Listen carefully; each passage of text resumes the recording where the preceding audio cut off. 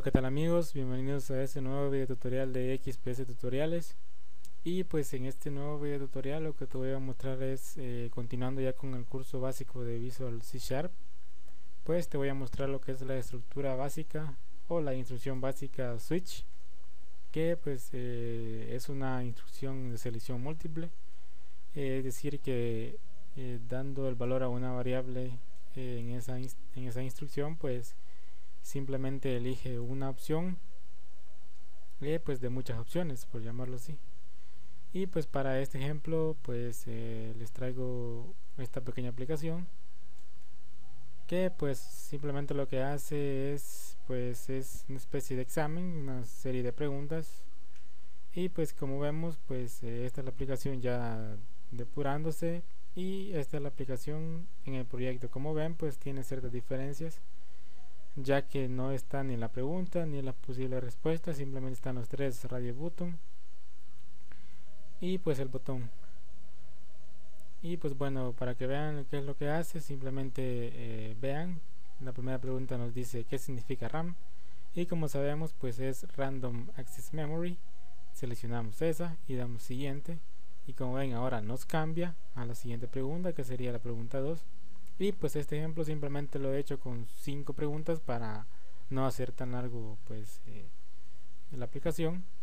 Y pues como vemos acá nos dice que es un objeto de programación y como sabemos en una instancia de la clase. Y pues eh, igualmente nos cambia y damos siguiente damos siguiente y pues acá última pregunta que es la, quinta pregunta pues al momento que le siguiente después de haber contestado la respuesta correcta según mi parecer o según quien haga el examen pues eh, deberá aparecer un mensaje con la nota que ha sacado dependiendo cuántas pues buenas o acertadas ha tenido. Entonces damos siguiente y como vemos nos dice felicitaciones tu puntaje es 4 nos dice felicitaciones ya que pues el total de preguntas es 5 y, y 4 pues es bastante bueno ya que simplemente falló una y pues al momento que llegue a aceptar pues eh, la aplicación debe cerrarse. Ya que pues como si no pues si no se cierra la aplicación pues eh, el usuario puede estar dando el siguiente y pues eligiendo la misma respuesta y pues el resultado irá pues incrementando de uno en uno infinitamente cuantas veces el usuario quiera. Entonces le damos a aceptar y esto debe cerrarse. Como vemos pues si se cierra y pues ahora lo que haré será simplemente explicarles el código ya que pues esta instrucción pues requiere un poquito más de trabajo por llamarlo así. Entonces simplemente le explicaré el código.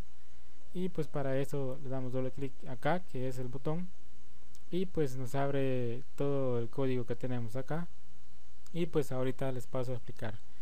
Bueno pues eh, lo primero que debemos hacer es declarar dos variables como las tenemos acá eh, son de tipo integer ya que pues por lo menos esta que será la selección y será el valor que le pasamos a la instrucción switch que tenemos acá abajo pues eh, tomemos en cuenta que no puede ser de tipo double eh, ni, de ni, de punto flotante ya que pues simplemente le, esa instrucción switch no funciona.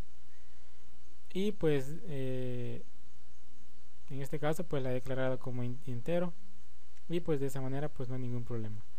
Y pues el otro la otra variable es un acumulador como vemos eh, es el resultado igual del mismo tipo entero y la he igualado a cero ya que pues la nota eh, pues esta sería la nota y pues la nota menor pues es cero como sabemos.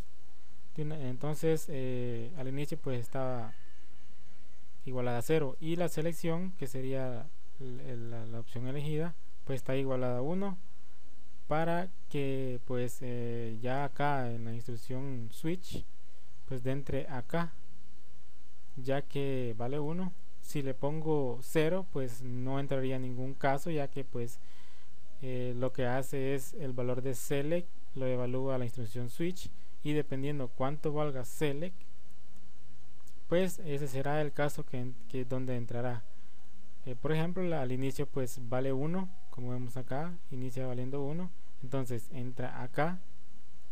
Y pues acá simplemente en este case pues eh, simplemente eh, establecemos una condición y nos decimos que si el RB2 que es este vamos acá se llama RB2 y pues si nos vamos a la pregunta 1 que si ustedes se dan cuenta en el formulario anterior pues acá no tiene nada. Entonces eh, ya que pues está programado en el evento load del, formulario para eso damos doble clic acá. Y nos como ven pues acá está la primera pregunta. Entonces eh, nos dirá que el label 1.text eh, pues será igual a la pregunta. Y los tres radio button pues utilizando la propiedad text de cada uno pues eh, nos mostrarán los tres tipos de respuesta o las tres posibles respuestas para esa pregunta. Y como sabemos pues nos pregunta qué es RAM y como sabemos pues es Random Access Memory. Entonces pues el correcto es el RB2 entonces ya yéndonos a acá al switch pues acá establecemos la condición. Entonces si el RB2 punto checked que es el que nos evalúa si está seleccionado ese radio button es igual a verdadero si ese radio button está seleccionado pues al resultado se le sumará 1 que como vemos pues acá vale 0 entonces aquí ya vale 1 que sería el acierto que tuvo acá. Y pues luego simplemente lo que hará después si esto se cumple pues el a select que es la selección le aumentará 1 para que al siguiente para que la siguiente pregunta pues entre acá en el case 2 ya que pues la primera vale 1 y acá al, aumentarle 1 pues vale 2 va a entrar acá. Y pues después de aumentarle 1 que acá ya nos vale 2 como ya les dije pues simplemente después de aumentarle lo que hará será cambiar la propiedad text tanto del label 1 que es la, pregunta por eh, la siguiente pregunta valga la redundancia que en este caso es que es un objeto de programación y pues eh, de igual manera los tres radio button van a cambiar su propiedad text por eh, las siguientes tipos de respuesta para esta pregunta. Y pues acá si ven esta línea eh, nos dice que el rb1.checked va a ser igual a verdadero. Y pues esto lo he hecho como una especie de, de limpieza podríamos llamarlo así ya que pues si el pues si el usuario por ejemplo en la primera pregunta que es la opción 2 elige esta. Entonces al momento que le dé siguiente pues eh, este radio button quedará seleccionado. Entonces pues eh, lo que he hecho es hacer que después de que le dé siguiente pues que el, el primer radio button sea el que esté seleccionado para que no quede en el lugar de su última selección. Bueno pues es simplemente para que eh, se vea bien y no se vea desordenado. Y pues siguiendo acá explicándoles el código pues después de que haga la limpieza pues simplemente se acaba el case acá con break. Con este pues rompemos el case eh, la ejecución del case 1 y pues al momento que, que yo le dé otra vez siguiente al botón pues entonces ya selección ya va a valer 2 y va a entrar acá. Entonces como sabemos pues eh, como vemos que acá tenemos la siguiente pregunta entonces nos dice que es un objeto de programación y como sabemos que es una instancia de una clase entonces es el rb2 también. Entonces acá establecemos la misma condición. Si el rb2.checked es igual a verdadero se le va a sumar 1 al resultado que sería la nota. Y de igual manera pues a select se le va a aumentar 1 para que entre en este ya que va a valer 3 y pues de igual manera pues el label de la pregunta cambiará y la propiedad text de los radio button pues de igual manera cambiará. Y pues acá simplemente al final lo que ejecutará será limpieza ya que siempre, siempre el radio button 1 será checked para pues eh, no se vea desordenado. Y simplemente acá lo que hacemos es detener ya el case 2 para que pues al momento al siguiente clic en el botón de entre acá y pues ejecute este bloque de código. Y pues simplemente sería eso no para los demás para las demás case es lo mismo. Eh, pues nada más pues acá al final como para que nos muestre el, el la, caja de mensaje pues simplemente lo que lo que se hace pues por ejemplo acá que ya nos cambia la pregunta 5 que nos pregunta qué es software entonces pues como todos sabemos eh, es, todas las aplicaciones intangibles de una máquina.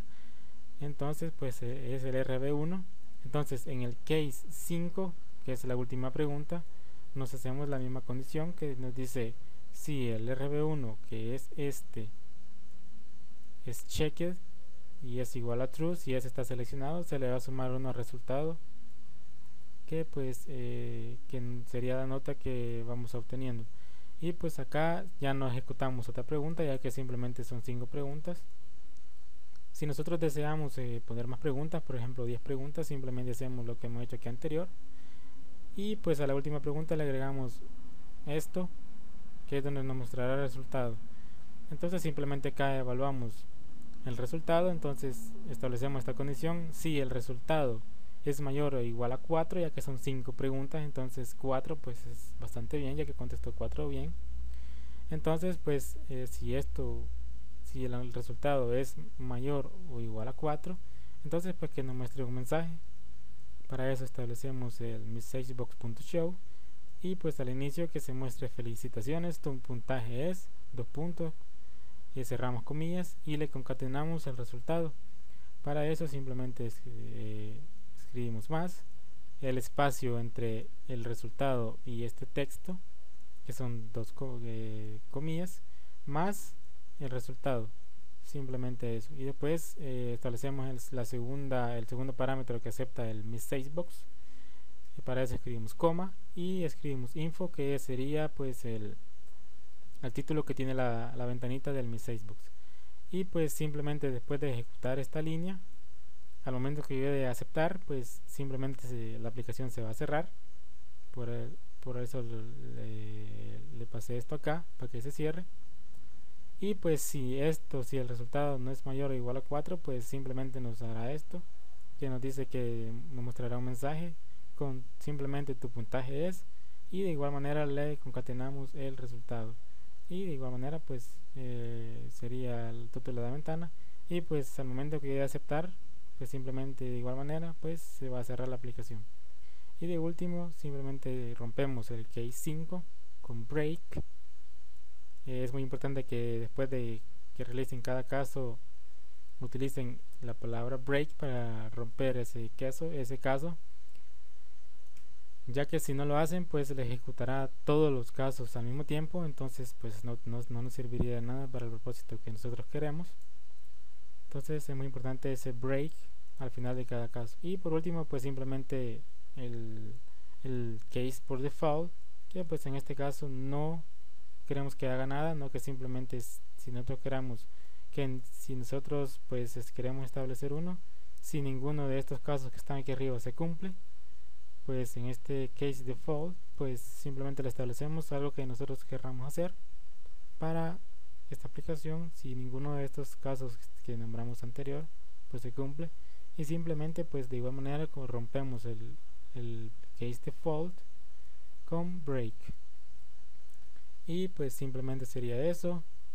La otra cosa pues eh, muy importante ya que la variable la debemos declarar a nivel de clase.